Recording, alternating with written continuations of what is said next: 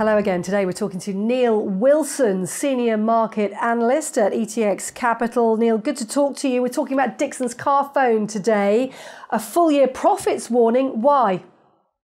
Well, yeah, the, it's a big profits warning. They, have um, cut it down from uh, around 500 million to somewhere in the region of 360 to 440 million. They what they say is that the mobile phone market in the UK is um, floundering a bit. People aren't holding people aren't upgrading their phones as quickly.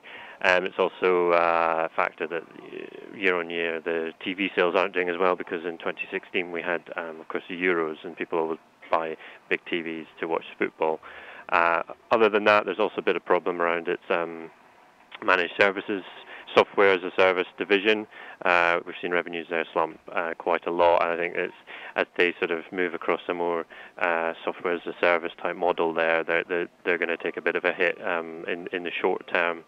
And then the other thing is some uh, one-off charges relating to the EU uh, roaming legislation, which uh, traditionally they tend to, to pick up as a net positive, but but this year it looks like it's going to be a, a negative impact on on the uh, full year numbers.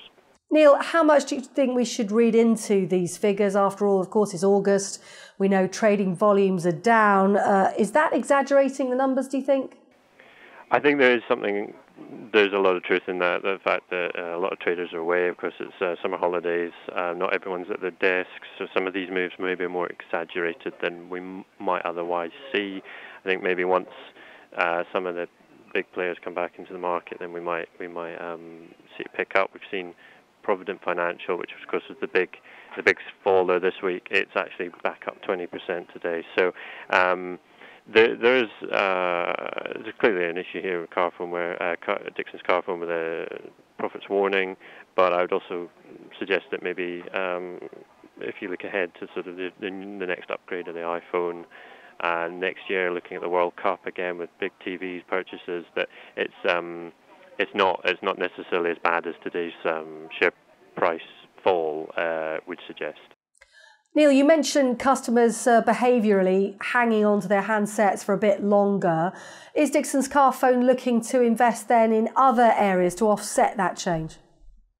Well, that's that's certainly one area. I mean, the, this move into the um, managed services, the the CWS uh, division, that is part of uh, a sort of uh, move that they they're, they're, trying to make to, to build out scale and to, to diversify a bit.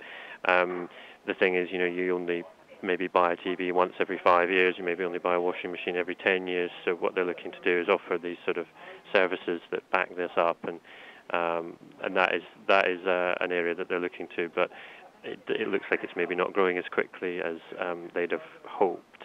Uh, the Honeybee software uh, pipeline looks promising, but there was a big one-off sale to Sprint in the US last year. They're not getting that one-off sale this year, so that's sort of affecting some of the numbers. But overall, overall, it's a sort of you know it's a, grow, a good growth prospect for them there. And going back to mobile phones briefly, if we can, you mentioned those that EU legislation, those uh, data roaming charges. How much of a role do you think that has played in this uh, profits drop?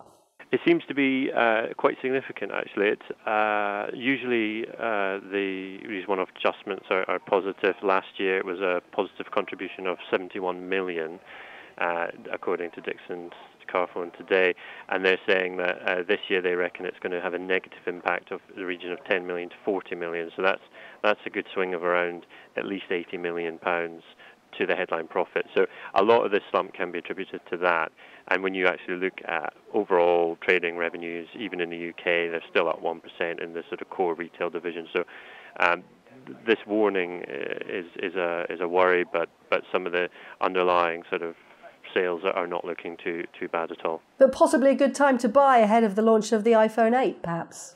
Well, I think there's there's certainly um, an argument that the share price drop today has got the uh, price to earnings ratio down to uh, 7 against the sort of historic average of around 22. So there's certainly value, maybe, um, but uh, it's it, it, will be dependent on, on how well these iPhone 8 sales go to, to a certain extent. So um, there's uh, lots of lots of unknowns, but certainly the prospect of the iPhone 8 is, is something that, that should um, offer support for, for Dixons going forward. As long as there's a decent headphone socket, perhaps. Neil Wilson, great to talk to you. Thanks very much Thank indeed. You.